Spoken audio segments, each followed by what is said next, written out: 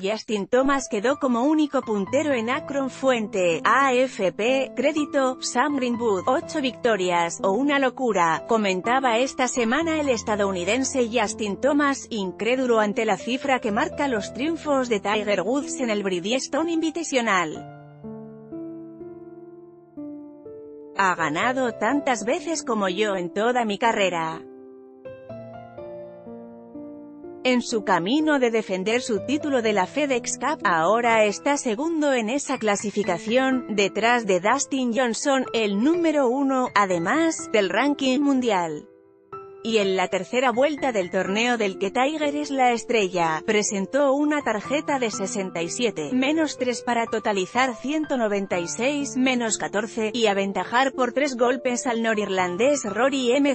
Roy y el inglés Ian Poulter, líder en los primeros 36 hoyos.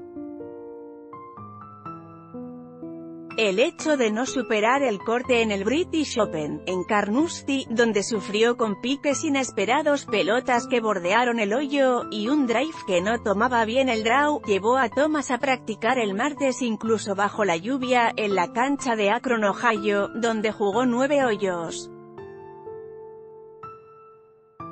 Lo que se vio ayer le demostró que se podían solucionar aquellos problemas, como para aspirar a superarse en el certamen en el que lo mejor en su historia fue un 28 grados puesto, y así encarar la defensa del título en el PGA Championship, la semana que viene, con otro talante.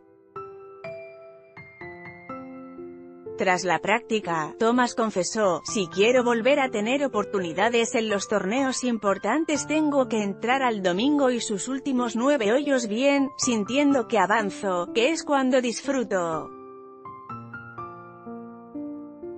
Seis verdes y un bogey hizo el sábado el nacido en Kentucky, mientras que Tiger, su inspiración esta semana, subía con un 73-3 que fue reflejo de lo que se percibía en su recorrido, pegando algunos golpes como con desgano, como si el destino de la pelota fuera lo de menos. Entonces descendió 18 posiciones, al sumar 207, menos 3.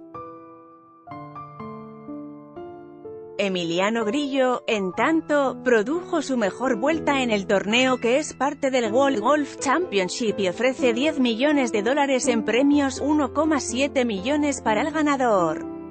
Con su 68, menos 2, el chaqueño quedó en el par para el torneo y está 43 grados en el tablero. El lujo de Jason Day y el australiano Jason Day, cuarto a cuatro golpes, es uno de los siete jugadores que bajaron el par en las tres vueltas del Bridgestone Invitational. Su chip desde el pasto alto en el par 3 del 15, para Verdi, fue una de las mejores jugadas del día. Arroba Daigolf to keep pace with the leader. He's now in a tie for second. Four shots back.